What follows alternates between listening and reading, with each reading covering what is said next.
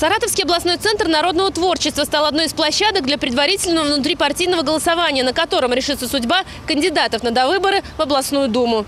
Ленинский одномандатный округ номер 6 предлагает вниманию выборщиков программы четырех кандидатов. Каждый из них подробно рассказывает о главном в своей программе. Молодым специалистам, которые едут направляться работать в муниципальные э, лечебные учреждения на деревню, отменяли хотя бы на три года подоходный налог в размере 13%, единый налог. Естественно, это даст увеличение заработной платы без вложения в бюджет дополнительных денег. Наравне с опытными претендентами выступают начинающие политики. Людмила Сухарева была активисткой в молодежном парламенте. Теперь надеется сделать больше уже в настоящем региональном парламенте. В первую очередь я предлагаю закончить программу «Мой двор». Проект партии «Единая Россия».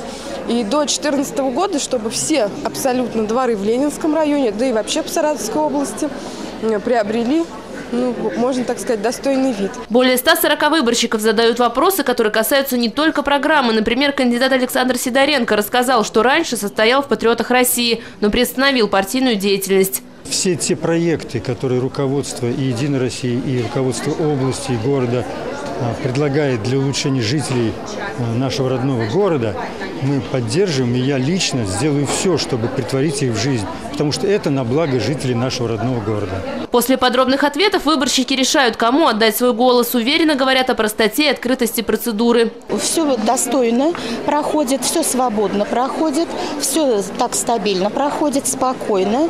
Все э, абсолютно желающие э, задают вопросы, и, вопр- и ответы звучат также. Так что подвоха нигде я не заметила, абсолютно. После подсчета голосов становится известно, кому отдают предпочтение выборщики. Большинство из них поддержали кандидатуру Александра Сидоренко.